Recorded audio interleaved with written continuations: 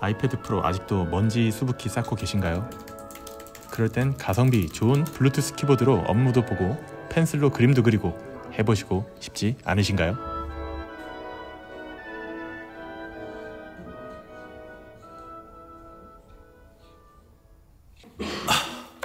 안녕하세요.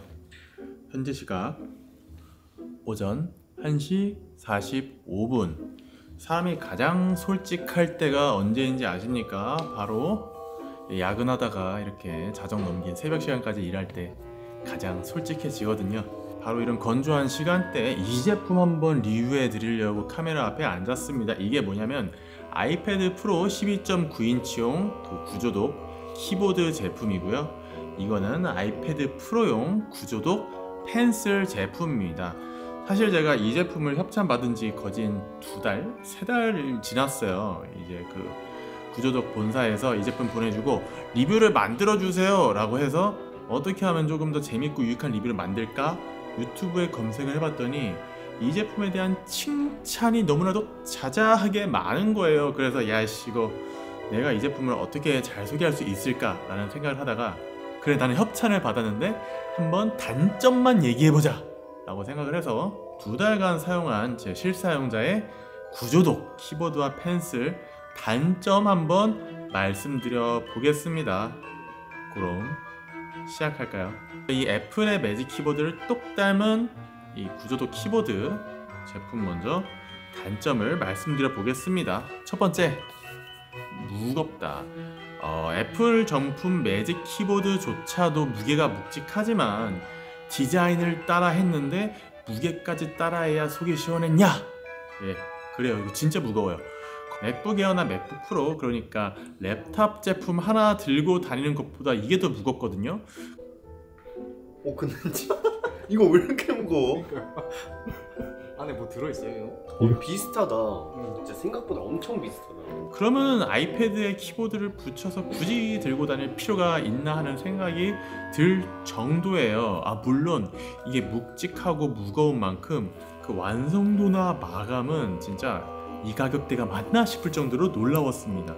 이 힌지 디자인이나 이 키보드의 palm rest, 터치패드, 키보드 배열 등등 뭐 하나 허투루 만든 게 없는 마감. 아 너무 장점인가?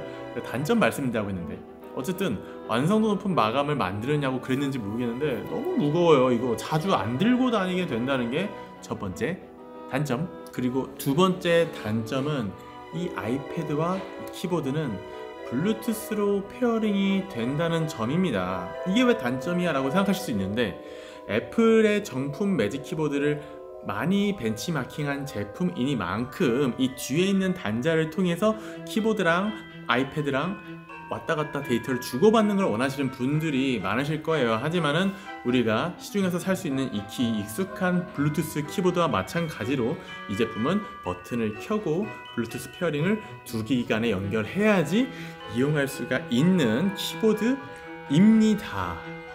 그래서 불편하냐? 사실 딱히 불편한 건 없는 것 같아요. 이 키보드를 자체적으로 충전해서 배터리 잔량을 볼 수 있는 LED 디스플레이가 이 우측 상단에 있고요. 제가 오늘 아침에 100% 충전했는데 딱히 쓴 건 없는 것 같은데 89%가 됐네요. 그래서 배터리가 빨리 닳거나 충전 스트레스가 있냐 라고 생각하실 수 있을 것 같기는 한데 10초 이상 타이핑을 하지 않으면은 잽싸게 절전 모드로 들어가는 것 같아요. 그리고 다시 클릭을 하거나 터치를 하면은 바로 절전 모드에서 빠져나와서 타이핑을 할 수가 있고요. 그러니까 단자를 이용해서 키보드를 쓰지 않는다는 게 기대했던 분들에게는 실망을 안겨줄 수 있을 것 같지만 그냥 just 단지 블루투스 키보드다 라고 인지하고 쓰시는 분들은 뭐 이 정도면은 꽤 괜찮은 키보드가 아닐까 하는 생각을 합니다. 그리고 세 번째 단점은 이 힌지, 이 헤드의 각도 조절에 제한이 있다는 점이에요. 이것 또한 애플 정품 키보드랑 똑같은 디자인으로 만들었는데요. 애플 정품 매직 키보드도 똑같은 단점으로 이런 각도의 제한을 받습니다. 이 말이 뭐냐? 이렇게 무릎 위에 올려놓고 할 때 조금 더 나는 이 아이패드의 스크린을 위쪽으로 올리고 싶은데 최대한 올릴 수 있는 각도가 이렇기 때문에 더 올릴 수가 없어요. 아무래도 벤치마킹 한 제품이다 보니까 불편함까지 벤치마킹 한 것 같은데 저는 이런 것들은 좀 개선해서 나와줬으면 어땠을까 하는 그러한 생각이 좀 아쉬움으로 남습니다. 이렇게 단점을 알아봤는데요. 어쨌든 아이패드 프로를 사신 분들이 유튜브나 웹서핑처럼 간단한 작업을 하려고 사신 분들보다 업무용이라든지 취미용이라든지 이런 생산 활동을 위해서 사신 분들이 많으실 거예요. 그렇다면 이렇게 키보드랑 터치패드를 동시에 쓸 수 있는 제품 그러니까 정품 애플 매직 키보드 같은 제품을 찾으실 거란 말이죠. 그런데 정품 키보드는 40만 원 가까이 하는 값비싼 키보드이니까 이렇게 10만 원 내외로 살 수 있는 고품질의 키보드를 써보시는 것도 정말 좋은 선택지겠다 하는 생각은 들고 앞서 제가 말씀드린 그 단점들을 커버하고도 나는 이 키보드를 한번 써보고 싶다 라고 생각하시는 분들께서는 꽤 괜찮은 선택지가 아닐까 생각이가 됩니다. 다음은 이 구조독의 펜슬 제품에 대해서 알아보겠습니다. 상대적으로 구조독의 키보드보다 이 펜슬 제품은 덜 알려져 있는데요. 뭐랄까 저는 단점을 찾으려고 이 제품을 진짜 열심히 썼는데 되려 애플 정품 애플 펜슬보다 더 잘 만들었다는 생각까지 들더라고요. 이렇게 상단에 LED가 보이십니까? 빨강색, 초록색, 파랑색으로 표시가 되는데 초록색은 충전 중, 파랑색은 pairing, 빨강색은 뭐 배터리가 없음 이런 상태를 표시하는 것 같아요.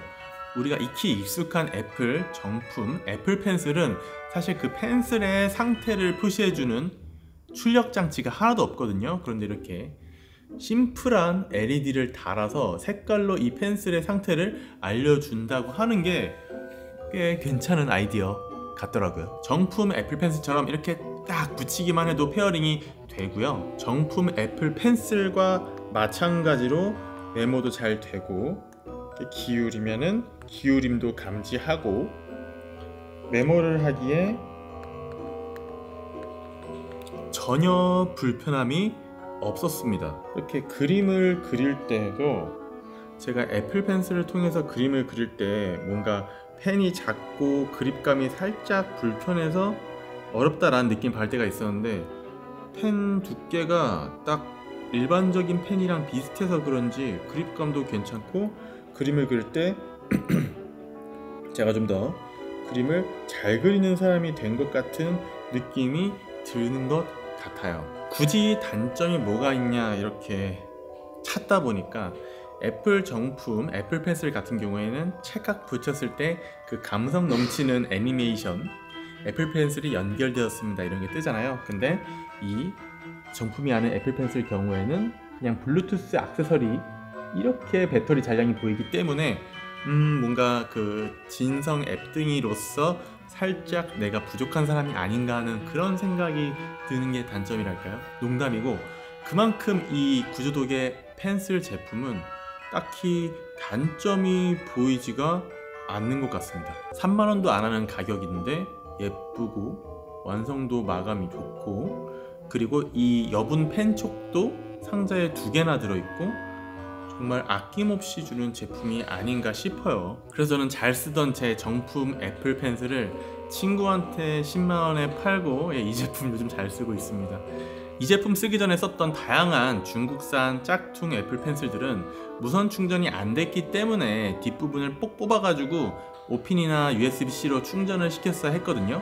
그런데 이제 마그네틱 붙이기만 하면 충전이 되는 제품이 나왔기 때문에 더 이상 굳이 정품 애플 펜슬을 사야 하는 이유가 있을까 하는 그런 생각이 듭니다.